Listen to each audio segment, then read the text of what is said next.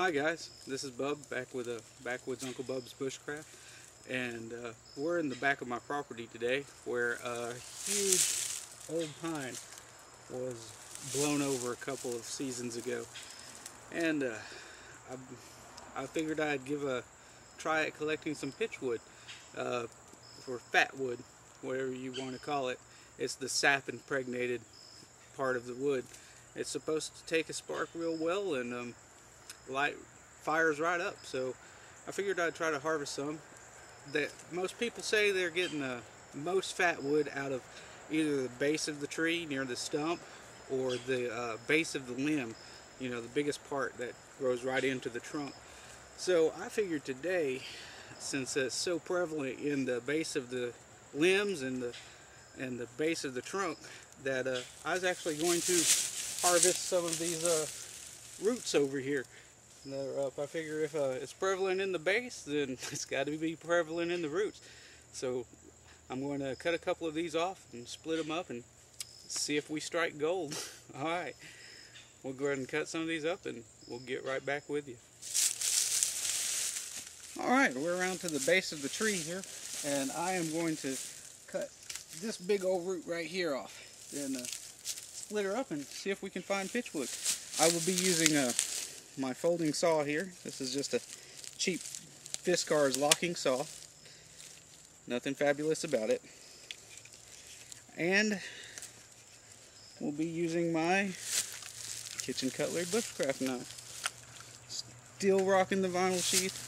It's holding up real well. Really enjoying it. So we'll be using my free kitchen cutlery bushcraft knife. And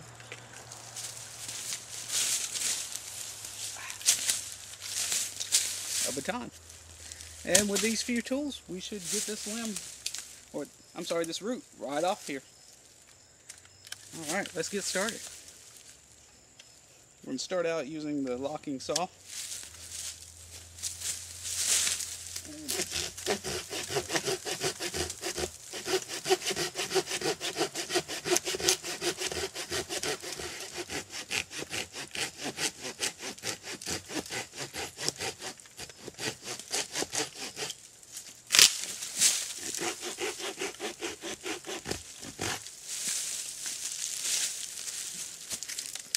Alright, there we have it.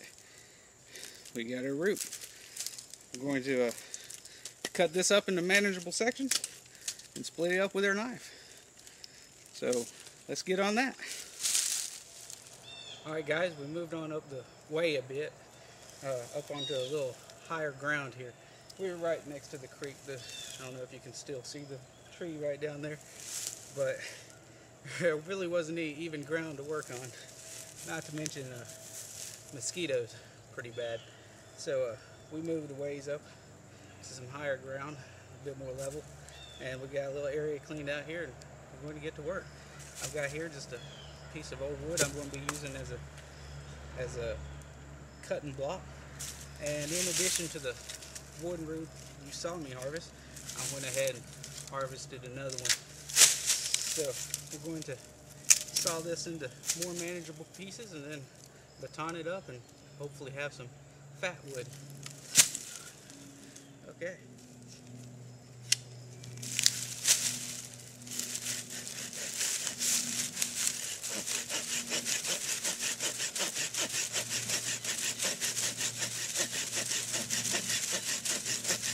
Okay, we're back and we have several pieces cut and we're going to baton through them and see if we can find some sapwood. Get out my trusty knife here. Get a good base. Get my baton. That's not my baton. Get my baton.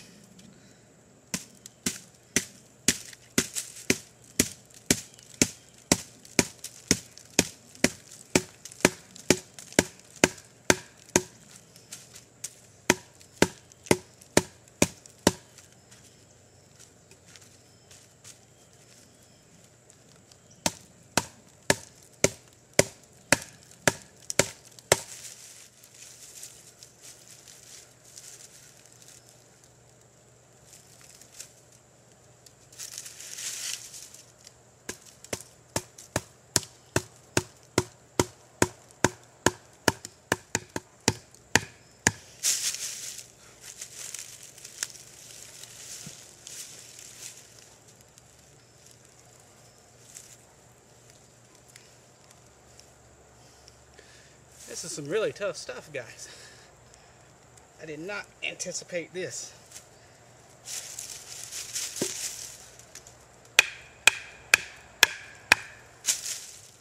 Well, it's been about 10, 15 minutes worth of banging on this thing, and I haven't even, I haven't even gotten halfway through it.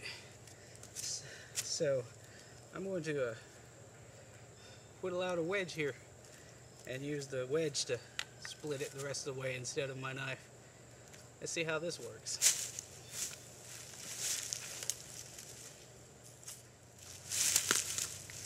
Okay, I got my little chisel whittled out here. I'm going to put it in the little cut I've already made with my knife here, if you'll go in there.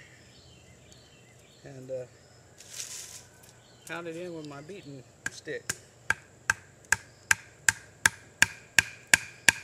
Now hopefully this will work just like a swedge when you're chopping lumber and it'll split it wide open.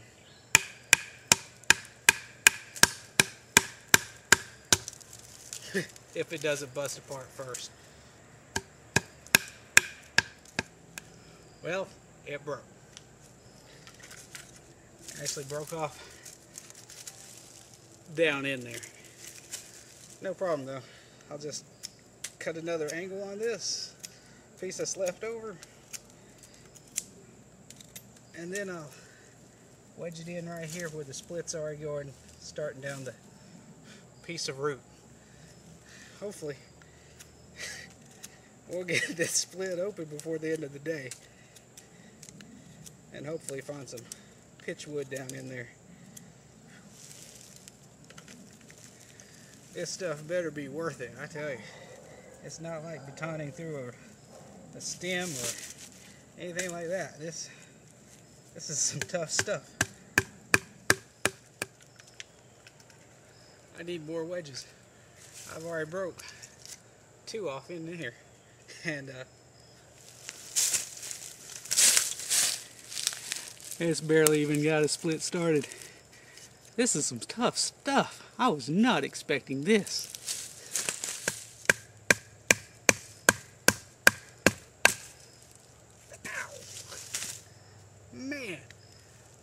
gotta watch where you're swinging that.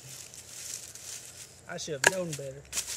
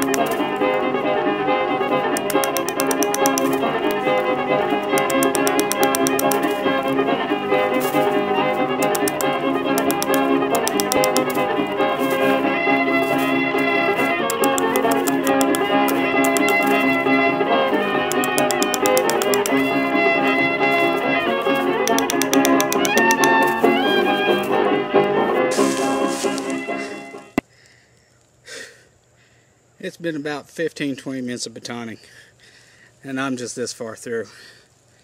This is ridiculously hard stuff.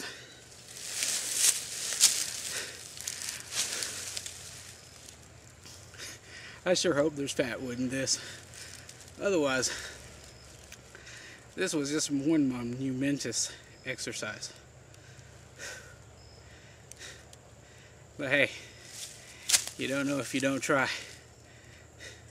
All part of the fun.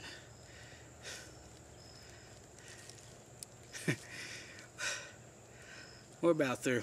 Let's give it a couple more whacks.